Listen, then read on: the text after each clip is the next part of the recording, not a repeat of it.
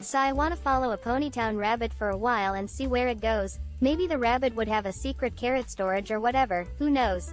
But first off, I have to find a rabbit.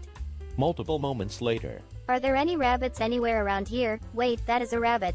My dear viewer, here is our rabbit. We gonna follow this small fluff ball and see where it takes us. Multiple moments later. Come on bunny, show me your secrets. Show me where you keep your carrots. Show me. This rabbit is a bit slow, come on move.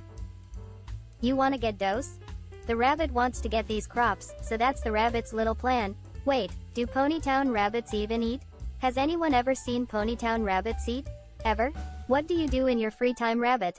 Do you just wander around, or something else? Do you eat? I think this rabbit's gonna go somewhere now, or maybe not. Just goes around in circles. Now we're back. We've been here before rabbit. I want those carrots, come on bunny. Rabbit, come on rabbit. How much time have I spent on this? Oh, 15 minutes. Okay, that is enough. So, the conclusion of this video is that if you follow a rabbit all around Ponytown for 15 minutes, nothing will happen. What a surprise. My dear viewer, give this video a like and subscribe, thanks.